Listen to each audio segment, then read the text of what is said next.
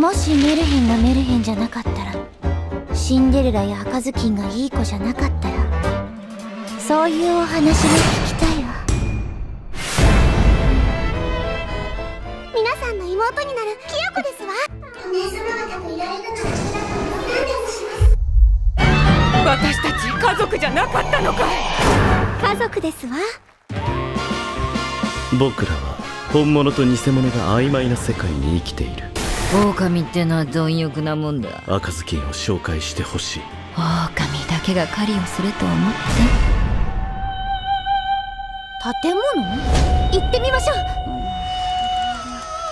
美味しいかヘンゼル。それ以上言ってはいけません。世界の果てを確かめるなんて簡単さ。それは奇妙な経験だった。あなたが書きたいもの。自己紹介俺の字だ怖いんだ受け入れるしかない。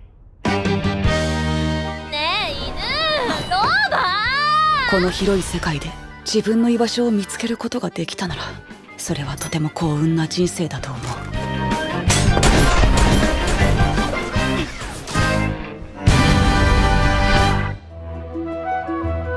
私は彼女人よの宿代代わり。恋人たち。世の中には裏側もあるんですよ。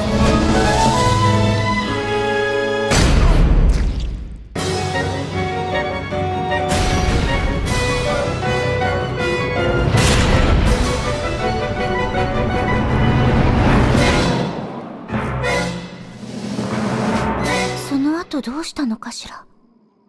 幸せになれたわよね